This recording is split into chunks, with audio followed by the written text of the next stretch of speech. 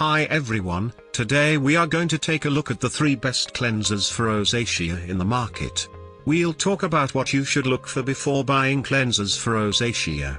You can find timestamps and links to order the products we mentioned in this video down in the description below.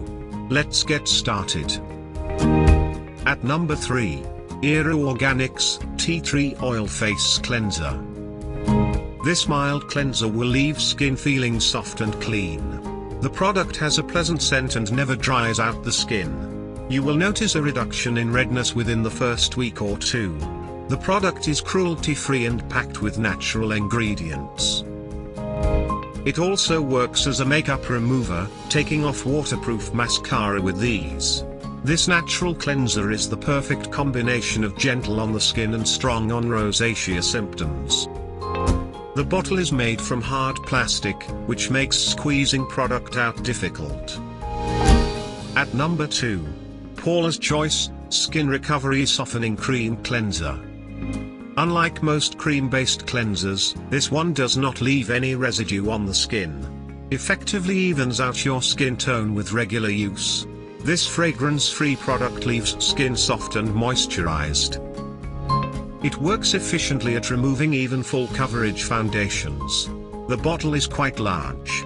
If you're looking for a quality cleanser this product is a solid option. The product doesn't lather so you might feel that you're rubbing lotion into the skin. At number 1. Neutrogena, Ultra Gentle Hydrating Cleanser. This creamy formula keeps skin moisturized.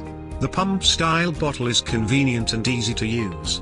The cleanser starts clearing up dry, itchy red patches within the first week of use. Gentle formula doesn't further irritate rosacea, and regular use will reduce overall redness, giving you a smooth, even skin tone.